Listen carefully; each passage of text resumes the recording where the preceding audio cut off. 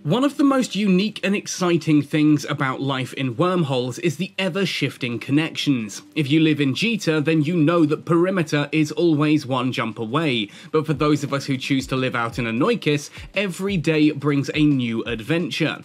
You'll find new holes taking you in and out of K-Space, you might find a C1, a C3, a C13, and all kinds of different content available within them.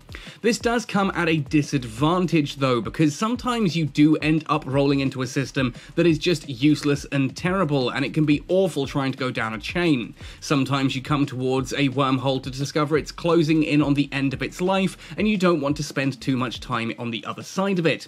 This is where rolling wormholes comes in. Essentially, the ability to collapse a wormhole by passing enough mass through it repeatedly. And in this video, I'm going to teach you how this works. Ahoy there folks, I'm Captain Benzie and welcome back to another Catskull Academy lesson for EVE Online. In this video, we're going to be talking about everything you need to know about rolling wormholes, what that means, how it works, how you do it, why it works, and why you'd want to do it in the first place. Now, I do apologise, this lesson is going to be fairly math heavy. I don't intend to take you all the way back to secondary school or high school or whatever, but there are going to be a lot of numbers flying around. I will try to make it as simplistic as possible. I will slow down and try to use graphics on screen where I can. Now, this is a very important lesson for wormhole life as well, so you won't just find this video in the Catskull Academy playlist, but also in the Wormhole Life playlist. Essentially, if you're looking to learn more about EVE Online, check out the Catskull Academy playlist. If you're looking to learn more about life in wormholes in specific, then check out my Wormhole Life playlist as well, because that will have loads of cool information. Now, on my Discord as well, which is linked in the description down below, I am currently working on a complete primer to everything you need to know about life in wormholes, and this video is designed to twin with that. So come join Discord, make sure you head to the Wormhole Guide PDF channel, download the PDF, it'll be in the pins, and check out what that's all about as well. Our Discord is heavily themed around wormhole life in EVE Online, so definitely you can ask questions there. Now, if you do enjoy this video or you find it educational, let me know. Drop a comment down below with what you learned or what you like or anything you think I may have missed, and hit like on the video as well. It takes you a brief second and it really helps me in my content out. On the subject of helping me out, if you do want to go the extra mile, I have a Patreon page, a PayPal tip jar, and a Redbubble merchandise store where you can grab some exclusive merchandise. That all really helps support the channel and keep me making content like this. Every little helps. Thank you so much to everyone who does pledge to support and helps keep this channel going. Anyway, with all of that said and done, let's jump right into a Catskull Academy lesson talking about rolling wormholes. If you're watching this video, I have to assume that you've already watched my Wormhole Survival 101 video, and if you haven't, I strongly recommend pausing this video, going and watching that one first, and then coming back, because it will give you a bit more information about wormholes overall. For today, though, we do need to just quickly revise up on some of the wormhole information that you can get by right-clicking on a wormhole and going to Show Info.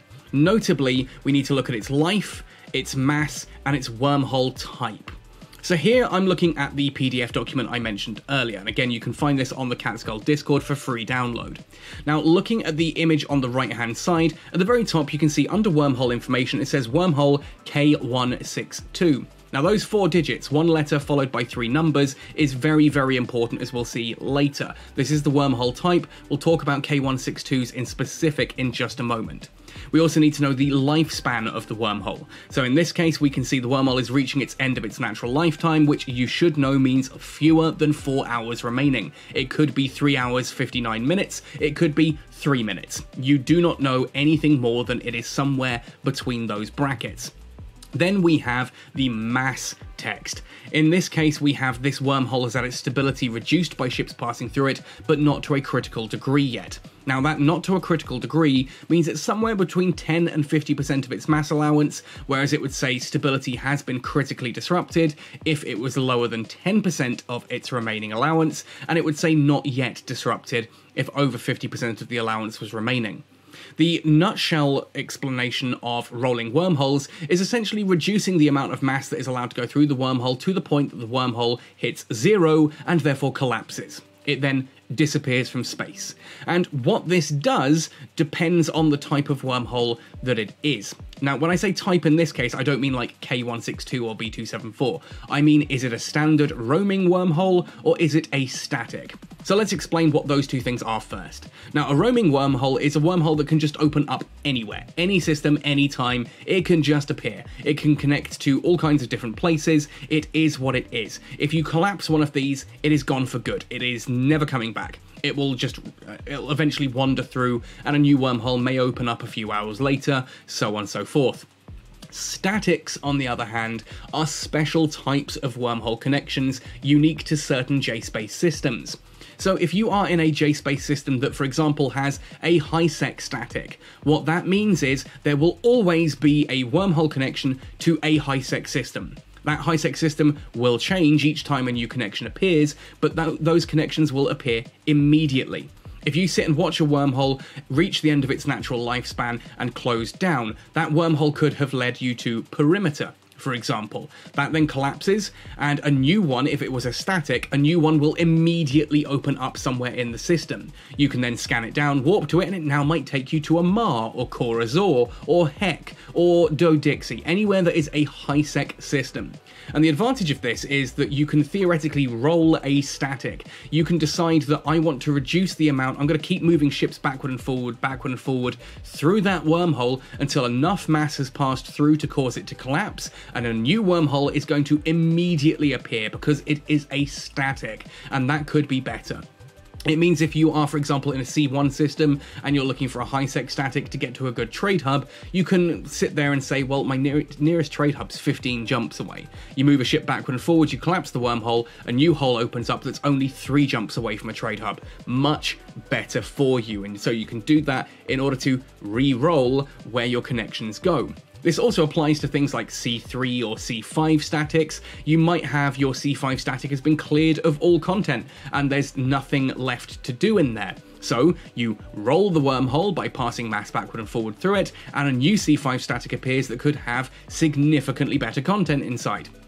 That's one of the main uses for rolling a wormhole. We do also have what is referred to as rage rolling, which is doing that purely to see if there's anyone else on the other side um, and go hunting them, but we can also roll off wormholes. The wandering wormholes we talked about earlier don't immediately reappear. So when you collapse a wormhole by rolling it, it's gone for good. So if you're in a system that you think, oh, there's a lot of really nice stuff in here, we want to harvest this without being attacked, you can close off all of the wandering wormholes permanently. Now, as for the static wormholes in that system, this is where I said we'd talk a bit more about K162s and what that meant. Now, essentially, when a static appears, it is just the entrance at that point, the B274, the 0477, that kind of thing. It is just that. You can scan it down, and it will still just be the entrance. But the second that someone lands on grid with that entrance, the K162 appears at the other end wherever it was designed to go. Now, what this essentially means is, if you were to roll off all of your wandering wormholes, then close your static connections, as long as nobody warps to the new static connections, no one can get into the system, because the K162 has not yet appeared.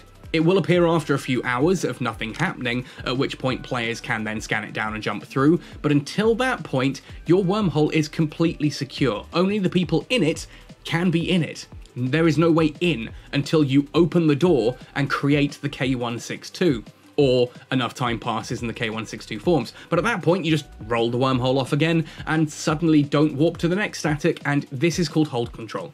That is hole control. This means you can lock down your wormhole and only the people already inside it are there, which means that JSpace can theoretically be safer than HiSec, because you can just have a system that nobody can enter and that's one of the major advantages of rolling your holes. Now, on the subject of different wormhole types, we've just talked about a K162, but what do all the different other types mean?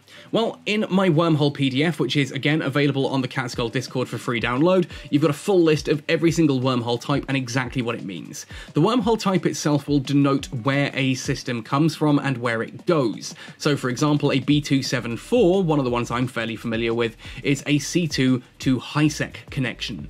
That means it will always start in a C2 JSpace system and it will always end in a HiSec system. That is what that works out as. And a 04, an 0477 on the other hand is a C2 to C3 connection.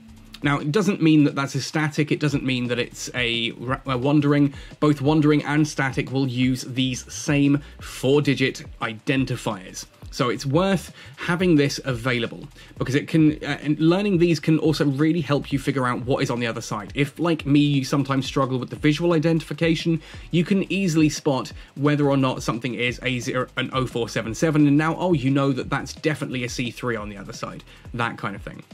The other thing that the wormhole type identifier tells us is the total mass allowed through the wormhole before it collapses and the individual mass of transit. Now, if we again look at a B274, we can see here on the left-hand side here, a B274 allows 375,000 tons to transit each jump. This means you can bring a battleship or things like that through, as long as they are 375,000 tons or lighter. If we have a look at the total mass allowed, you'll see it has a total limit of 2 million tons. Now that means if you were to jump, say, a 200,000 um, ton ship through, it would reduce that hole by 10%. So do that 10 times and the hole will collapse, right? Now you're understanding rolling. There is one, however, one really annoying catch to this.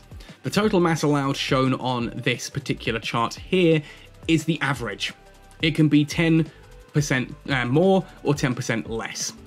That makes things a little bit more spanner in the works for us. So this B274 could be 2 million tons exactly, it could be anywhere as low as 1.9, it could be anywhere as high as 2.1 million tons. It's not a great place to be, to have to sit there and work that out manually. So when we roll a hull, we have to do it with ships that we know can force that collapse at either way, and we will probably have a backup there to thread a hole, which we'll talk more about later, in the event that our math is ever so slightly off. Because remember, this is based on a hole being at eh, you know, brand new and fresh when you look at a B274, you can't just accept that it's going to be 2 million tons. It could be 10% higher or lower, but also ships may have passed through it before you have, which means it could have been reduced. And since, again, we know that the text only tells us once it's reached the halfway point, the 1 million ton mark, essentially we only know if it's somewhere between 1 million and 2 million tons. We don't know where in that boundary it actually is at this point, and therefore jumping something could cause it to cross a boundary. Once it's at a million tons, it will we know it's at uh, destabilization, it's 50%, and that will then reduce all the way down to eventually 200,000 tons. 200,000 tons being the 10%, at which point it is labeled as critical. And so we essentially are going to find ways to use that math. But essentially, using this chart, you can figure out what the total mass allowed is, and you can plan either side for a little bit of allowance. So, with that in mind, let's talk about how to roll it. Since the aim of rolling a wormhole is essentially to pass enough mass backward and forward through that wormhole to reduce it to the point of collapse, we need to understand how to even see that on the ships that we're flying. So here I'm docked in a Megathron. I've opened the fitting page, and on the right hand side here under navigation, you can see the mass of your ship. Now, in this case, the Megathron is 196,800 tons. That's pretty good. That's close to 200,000 tons, which for our purposes is going to be good enough. This is where there's an interesting aside um, in how micro warp drives and afterburners work that can come to our advantage here. If I simulate this fit, you'll notice that my mass increases all the way up to 296,800 tons, almost 300,000 tons. Why does that happen? Because the micro warp drive is now active, and that 500 meganewton afterburner, uh, micro warp drive, sorry, is increasing our mass by a full 100,000 tons. What this essentially means is we have a ship that can be either 200,000 tons or 300,000 tons just by activating a different module. And I know that it's not exact, that 4,000 or 3,200 tons though is not much of a problem due to how the whole plus or minus 10% mass on a wormhole actually works. So how do we achieve this on a battleship? Does it have to be a Megathron? No, it doesn't. A Praxis is another very cheap, very commonly used wormhole roller. Essentially, any battleship can do this. You're going to want to fit a Higgs anchor to this, a large Higgs anchor 1.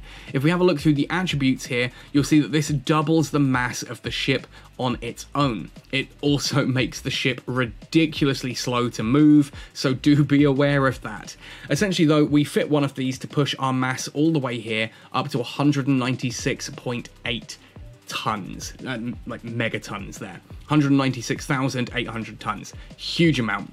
We then fit the micro warp drive, 500 meganewton micro warp drive, for that ability to activate it. You'll see there.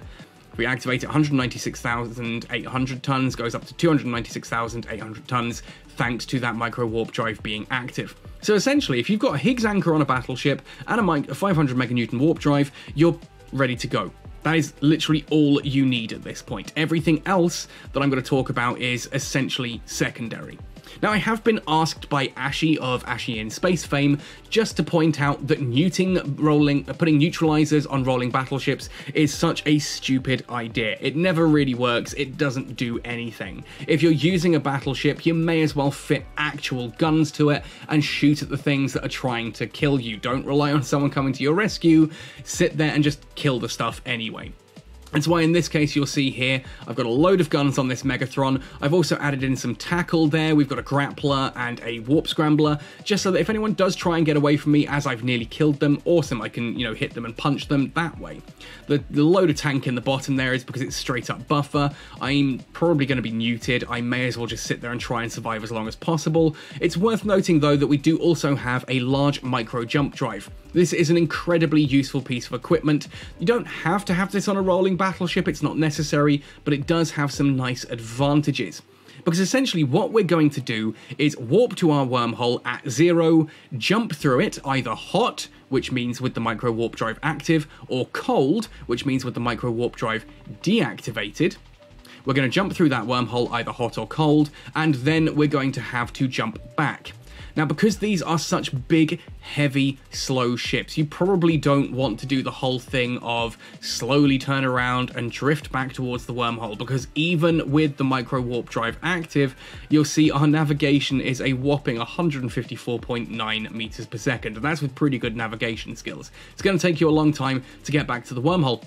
And what happens if you've just polarized yourself? What happens, you know, we're jumping this wormhole back and forward repeatedly you don't want to just sit on the wormhole. What you're going to do is once you've jumped through, you're going to warp off to a safe point you've already set up, wait there for the five minutes of polarity to pass away, then we're going to go back through and keep on jumping and so on and so forth. The reason we have the micro jump drive is if we land on grid and it looks like there's some tackle, we can spool this up, get away, turn around and warp to our safe point nice and quickly. It just gets us out if anyone tries to grab us. We can also use it to theoretically jump to a perch off the wormhole, but now I'm kind of complicating things.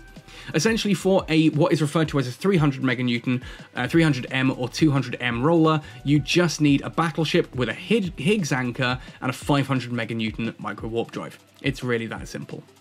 This is a wonderful wormhole roll control quick reference chart made by Algar Theosant of Catastrophic Overview Failure way back in August 2016. Now, I know there are going to be some people frantically typing on their keyboards the moment that I show this, saying, oh, it's not entirely accurate, you shouldn't be sure. I'm well aware, but it does give an excellent starting point for pilots who are just trying to figure things out. Especially if you're looking at some of the easier and more common holes, which tend to be the two thousand holes. Now this is where the math gets a bit confusing because some people use the full ratio of the tons, some people use these gigagrams, which is, uh, it's, yeah, it's awkward. But essentially, this does work. This 2000 gigagrams works nicely with the concept of a 300 or 200 ship like a battleship, because you can see that you're, rather than trying to take off 300,000, you're just taking off 300. We've reduced this by a thousand in order to make the math a little bit easier to work with. So we know from looking at that chart earlier that our B274 is a 2 million ton or 2000 gigagram wormhole, right? That's its mass allowance, and again, that can be plus or minus 10% either side, so we could be 2,200 gigagrams, we could be 1,800 gigagrams. It's nice and confusing like that. But if we are to use a 300, 200, uh, hot roller um, battleship, sorry, rolling battleship, we can essentially follow this chart. We arrive on the hull for the first time and we have a look. First of all, is the hull reduced? Is it still showing us healthy? If it's showing us healthy, do two cold jumps. That's jump into the hole without your micro warp drive active, warp to your safe point, turn around, come back so you're at zero on the hole, and jump back out, again with the micro warp drive deactivated. That is what cold means. Two cold jumps, followed by two hot jumps with micro warp drives, is the hole reduced. Now, I would actually add into here, you need to be checking every time you jump. When you jump, check the hole behind you. Is it reduced? This kind of suggests that you should just do two cold and two hot and then have a look at it. No, don't. Do two cold jumps, two hot jumps, but check between every jump. The second the hole hits reduction, that's the 50% boundary, we go into the second phase of this. We now need to do two cold jumps and two hot jumps, assuming we're on the correct side of the hole, because remember, we're doing this with even numbers. That kind of means that, you know, if you're if you want to be in system A and you jump into system B and the hole collapses behind you, you're in you're not where you want to be. If it's even jumps, you go from A to B, then B to A, and that's your two, then A to B and B to A, and that's your four. That's why we do it this way. If you are in a situation where you're on the wrong side and it happens to reduce early, well, we'll talk about that later. But essentially, you can follow this chart. Do two cold jumps, two hot jumps. If you are on the right side, if you are in the hole you want to be in, and it reduces, go down to the second step. You've got now got the two cold and two hot jumps, and that should close it off nicely. The to crit at the bottom is just to get it to a point where no one else is going to want to jump through it if you just want to leave the hole there just just not collapse it. Useful for hole control if you really want. Um, some people just close them off and deal with the whole K162 thing that I talked about earlier. Other people leave them crit because it's less likely anyone's going to try and jump through. Beyond this, we then have the option of is the hole reduced? No. That means if you've started a hole from fresh, you think, and you do the full two cold jumps and the full two hot jumps, and it's still not reduced, you follow the no side of things and you'll notice that these do all add up to even numbers, which means you kind of need to do the math if you are using more than one rolling ship. So for example, this particular on the yes line, or indeed on the no line, we could go with two ships, going down the no line there to roll four hot jumps. Because we need it to be an even number in order to be out of the system then back in, we can do this with one ship because we can go out in, out in, or we can do it with two ships where both go out and both come in. And that's your four jumps, right? You can't do that with three ships. If you've got three Praxis and three of them jump out, only one of them's coming back. So you need to be careful of that kind of math when you're looking at getting this to work. And you can see the different types here, the 3000 gigajoules, 3300 gigajoules and all that on there. Most of the stuff you'll encounter will be the 2000. Most of the common ones for rolling at the 2000s, some of the 3000s. So it's nice and easy to work with there. We've already talked about the fact that wormholes can actually have a plus or minus 10% to their mass. This can sometimes screw with your math. And what happens if other people have been passing through and out and you just end up in a situation where you're on the wrong side of the wormhole, you're you know in the system you want to be in, but it's at critical. You know that if you jump it again, you could collapse the wormhole behind you, and then you're stuck on the other side, which is what we definitely do not want. This is where a heavy interdiction cruiser can come in handy. Now I'm going to showcase this here with the Onyx, but again this can be done with any of the heavy interdiction cruisers for any of the different empires. Essentially, what we're going to have here is a cruiser that is so teeny tiny that it shouldn't trigger the collapse of the wormhole as it jumps out of the system that you want to be in, but then you can make it absolutely massive so that when you jump back in, it should collapse it behind you. I like to refer to this as threading a wormhole because it's like sewing a needle through it. And we do this thanks to how small the heavy interdiction cruisers are to start with. You can see here the Onyx is sitting on 30,800 tons. Very small ship to begin with. But if I simulate it, some crazy magic can happen here. So let's turn off the micro warp drive and turn on these little things at the top here. And suddenly, I'm all the way down to 790 tons.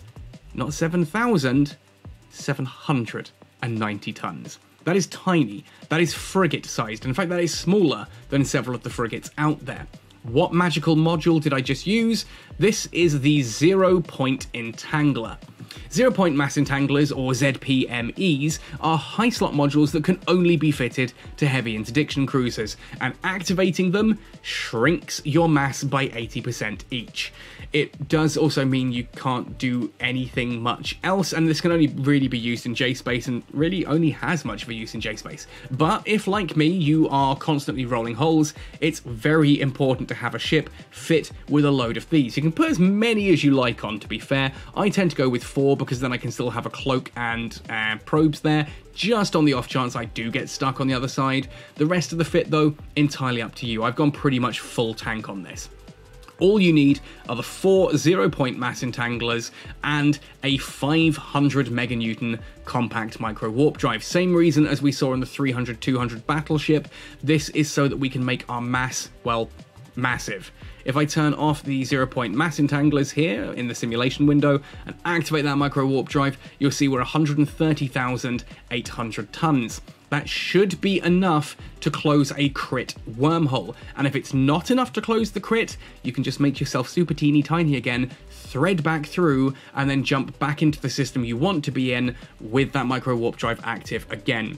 This essentially allows you to close a hole that a battleship would be too terrified of jumping through because it's going to get stuck on the wrong side. And there you have it. That's basically everything you need to know about rolling wormholes. At this point, you should understand how the math works and how you actually collapse a wormhole, why it will close when a certain amount of mass has passed through it. You should understand what a 300 200 rolling battleship is, and hopefully also an heavy interdiction cruiser for threading wormholes as well, in order to close one if it happens to go crit behind you.